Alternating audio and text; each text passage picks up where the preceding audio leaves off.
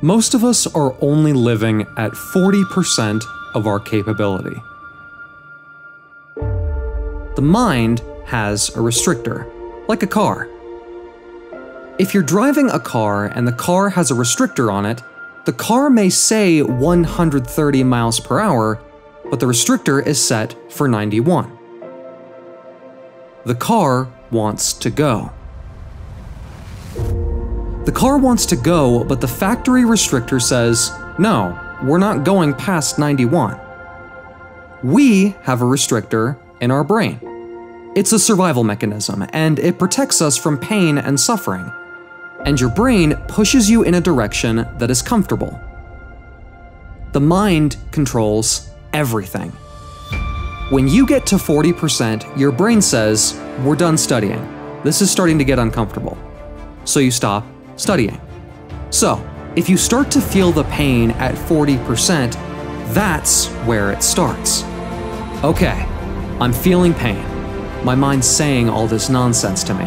It's trying to get you to procrastinate. It's trying to get you to relax and take a step back. But this is the time you have to regain control back of your mind. It's like, okay, let me see if I can go 45 or 50%. And once you start giving yourself more and more hope and start pushing back, your mind is going, wait, what are you doing? I'm telling you to go right, but you're going left. You then start controlling your mind. You start finding more in yourself.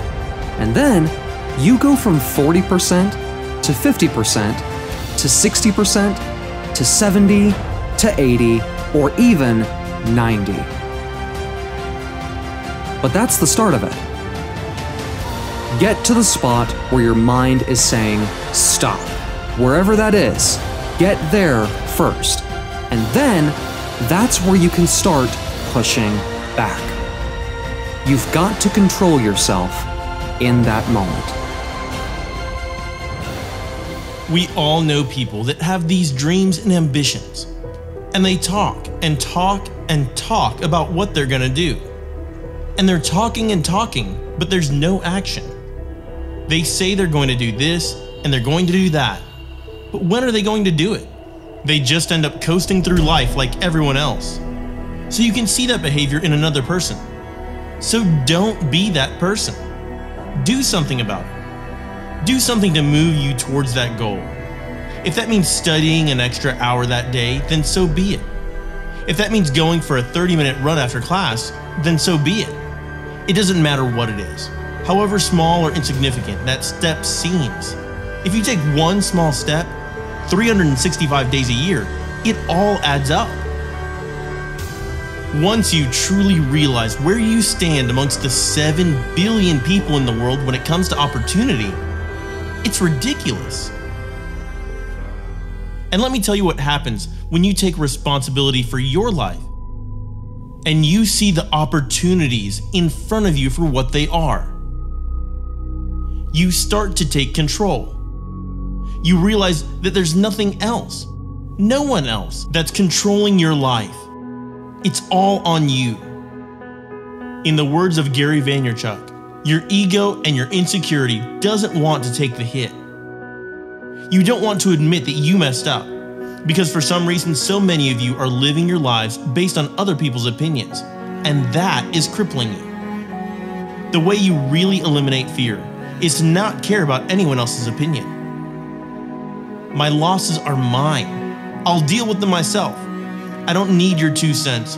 You're losing plenty on your own. If you let somebody else's opinion, whether it's your friend, your partner, your mom, your dad, your aunt, your uncle, if you are genuinely living the exact life you want to live, then what will happen is you'll stop waiting for the right time to make a move. You'll stop waiting to make a change or break bad habits. You'll stop blaming others for the lack of happiness in your life. But if your life has been out of control for so long, regaining control will not happen overnight. If you're committed to experiencing your own happiness and creating positive things in your life for yourself, you will. People are waiting for the right time to make a move, take a chance, make a change, or break a bad habit. Yet that right time never seems to appear. Each of us have plenty of excuses as to why we're stuck in the metaphorical mud of life, feeling like we control little more than the air we breathe into our lungs. And the truth is, it's easy to blame others for our lack of happiness. When it comes to studying, consistency is so, so important. A lot of people win and then they chill for two or three months, but real winners, they have their finger on the pulse all the time. They're always looking for the next one. They're not studying to get satisfied, they're studying to learn everything there is to know. They never get to a place where they feel like they made it because as long as you're moving towards achieving something, you keep studying, you keep reading, you keep learning, you stay hungry. And watch how it changes you day by day, month by month. You'll evolve into a completely different person.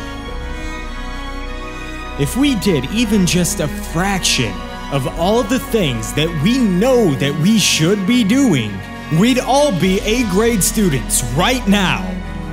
But there's so many things that we talk to ourselves and say, yeah, I know I should be doing this. Yeah, I should be doing that. I should be studying more. I should be eating healthier. We all know what we need to do to become the best version of ourselves, but for whatever reason, we're not doing it. And so the ability to choose and actually decide to do what we know we should be doing, it's a superpower. That's what defines the greatest performers to the people that haven't quite made it yet. It's the difference between an A grade student and a C grade student. The C grade student knows when he should be studying, but he doesn't study straight away. He procrastinates for an hour or two before he actually starts. Whereas the A grade student goes to work immediately as soon as it's time, not a minute after. When it's time to study, stand up to it Face it. What does that time mean to you? Is it something that is negotiable? Or is it set in concrete? What is it that you're waiting for? How much do you want it? Ask yourself this What's more important? Procrastination or your education? If you don't know what to do, if you don't know where to start, it's very simple. Just aim to be a little bit better today than you were yesterday. And when you start to do this, you'll start to see some incredible results. You'll start to become someone that you never thought you could be. But your progression is not going to be in a linear path. You'll go through cycles of stress and recovery. So it's just being able to surf the flow of that. So you can start small. If you normally watch two hours of Netflix at nighttime, decrease it to one hour and study an extra hour that night. If you do that every day, that's seven hours extra studying a week. You have to really study hard. You have to back your studying with hard work. You ask anyone successful, what's the secret to success? A lot of people will say hard work. They have no doubt in their mind that they're working harder than everyone else. So, do you have it in your mind that you're working harder than everyone else in your class or everyone else in your year. This is where your journey starts. This is where you grow. This is where you adapt. Grow to become the person that you admire. This is you. This can be you. Stop failing to respond, to react, it's at crossroads like this where you decide where your future goes. All this work you're doing now are the steps before you break the ribbon at the finish line. This is your opportunity to change. Change towards a better life, towards a life where you are the director, where you take control, where you control the direction of your life. This is the time to become something more than ordinary. Because you're more than average. You always have been. But in order for you to become this, you need to work.